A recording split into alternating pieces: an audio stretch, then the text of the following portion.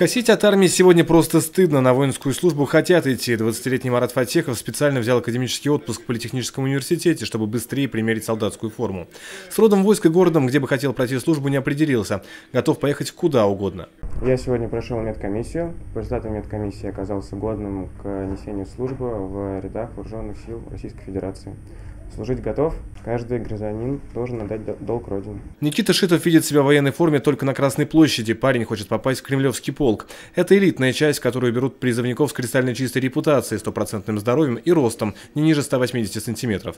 Никита полностью соответствует всем требованиям. Главное с головой дружить, чтобы у тебя представление было, для чего ты это делаешь. Я как раз таки предварительно тоже вел подготовку, занимался и уже как 12 лет даже занимаюсь плаванием. То есть э, можно сказать, что профессиональная какая-то карьера небольшая и путь к этому были выстроены. Один из специалистов, которого нужно обязательно пройти на медкомиссии, психиатр Игорь Сафронов, врач с огромным стажем, видел за свою карьеру многое. Первое, на что обращает внимание, татуировки и пирсинг у призывников. Отношение к ним резко поменялось в последнее время. Если раньше э, пирсинг в носу там, или туннели в мочках ушей там, или многочисленные, даже не многочисленные татуировки означали, конечно, направление на экспертную, э, за экспертным заключением в психобольницу, я имею в виду, то теперь у нас диспансер переполнится, если я всех буду с татуировками направлять, потому что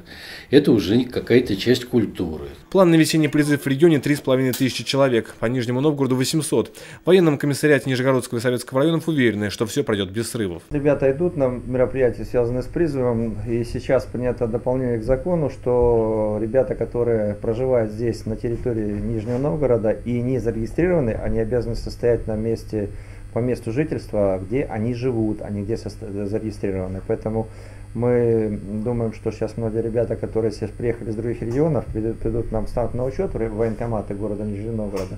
Мы с ним тоже будем проводить призывные мероприятия. А, значит, э, у нас э, граждан, которые уклоняются от призыва, единицы, потому что считается уклонившийся от призыва тот, который оповещен не прибыл по повестке.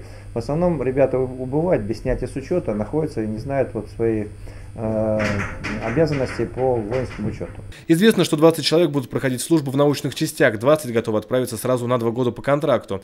По 10 призывникам принято решение о прохождении альтернативной гражданской службы. Призыв будет проходить до 15 июля. Антон Ганин, Юрий Афров, Георгий Захаров, столица Нижний.